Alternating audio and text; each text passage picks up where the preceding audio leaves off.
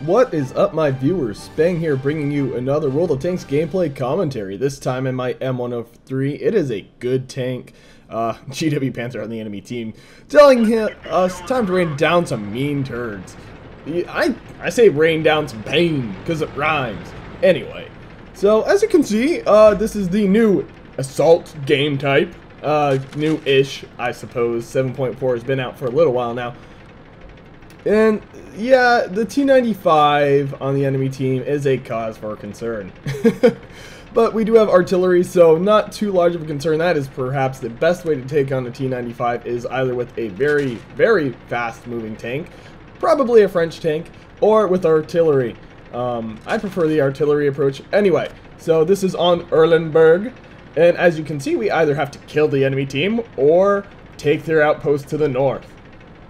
So uh, this is a favorite strategy of mine on this map, at least on this game type, is to just rush across the south, go east, and then rush up north. Because that way you have this hill providing cover, um, especially if you have good frontal armor like the M103 does.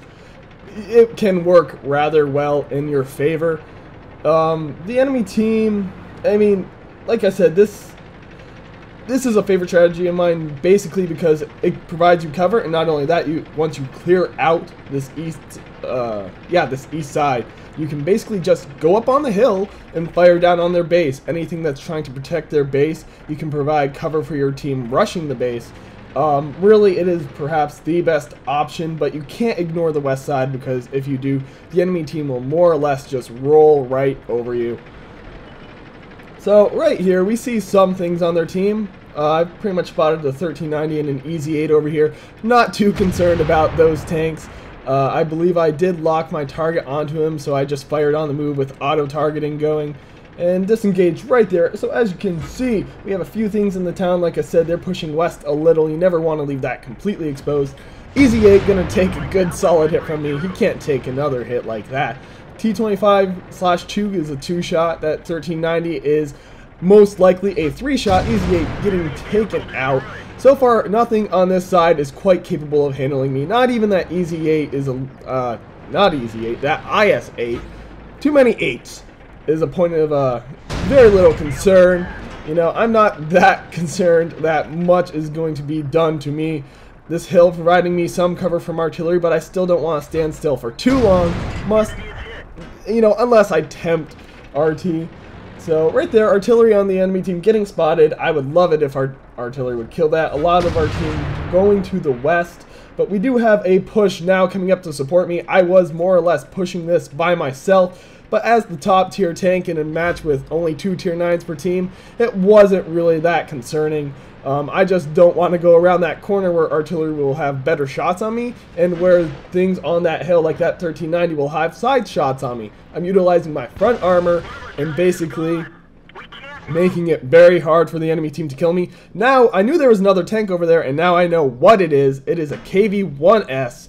Um, definitely something that can do a considerable amount of damage to me, even though he only has 175 penetration. That he does have 390 damage. A Jagdpanzer 4. As you can see, the enemy team just bulking up so much of their tanks on the side. I'm going to fire where that Jagdpanzer was.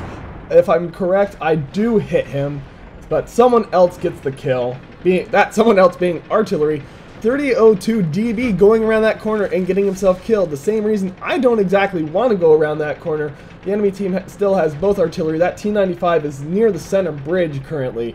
So, very far away from me. Apparently a T-34 was over there as well, but no one can get through my front armor, just because the T, uh, the M103, I was going to say the T110, they are both very similar in playstyle. You basically you face your frontal armor towards them, and they work really well at range, just because they have such accurate guns. So, at this point, you know, our team winning by a considerable margin. 9 to 3. I've got 3 of those 9 kills. KV4, bouncing a shell off him because I hit his turret wrong. KV4s did get a bit of a buff in 7.4. Uh, basically, they are pretty well armored. You don't really want to take them on in terms of a long range engagement because that armor will be more effective. But IS-8, just letting me get through his armor, KV1S showing himself bouncing another shot off me. I'm just bouncing shells left and right at this point. If you haven't guessed, I will get steel wall. KV1S taking a shot at him. Not sure if I really got him, but I'm betting I hurt him. More likely than not. And the IS-8 still coming right at me. Apparently he has a death wish, or he just wants to get a good shot off on me. He's turning his turret to basically see what just shot him over there, or maybe he was, I don't know what he was doing facing his turret that way, but either way, he's gonna die. So KV4 getting shot by something, I'm not quite sure what, again, bouncing another shot. KV4 taking another nice solid hit from me. Well, I shouldn't say another nice solid hit. The first one bounced. So, artillery raining in death, and I will try to get the final kill. He knocks out my viewport, but I more than make him pay for it with his life. So there we go, 15 and 5. Uh, I got 5 of our team's kills, so basically a third of our team's kills go to me. Yeah, I did hit that Jagdpanzer 4, and I did hit that KV-1S. So basically doing very well for myself, firing 18 shots, 16 hit the target. Yeah, one of those bounced, uh, maybe two of those bounced. I can't recall quite, but it's not important. The important thing is, think about that. 16 shots at an average of 400 damage, that's a lot of damage dealt.